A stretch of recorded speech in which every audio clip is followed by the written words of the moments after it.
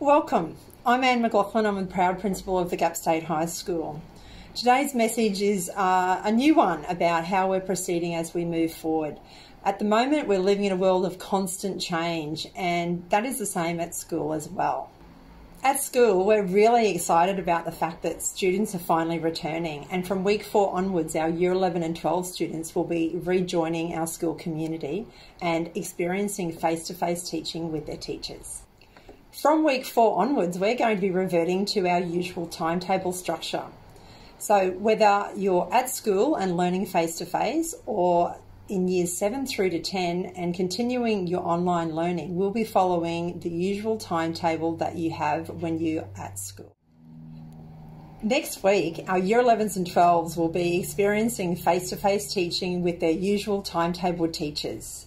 For our students in years 7, 8, 9, and 10, you'll continue your online learning with the new addition that you'll be experiencing your online learning with your timetable teacher.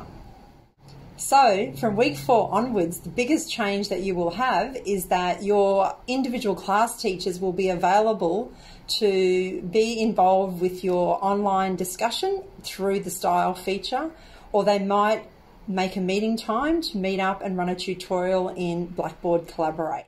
In week four, for students in 7 through to 10, your teachers will be contacting you individually and explaining how they will engage with you in their lessons. I'm really looking forward to having students back at school live and looking forward to the changes that are ahead and knowing that um, there could be news next weekend and we could have even more students returning to us in week five.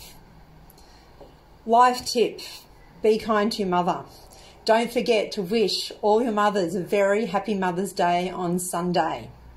And finally, in closing, in a world where you can be anything, be kind.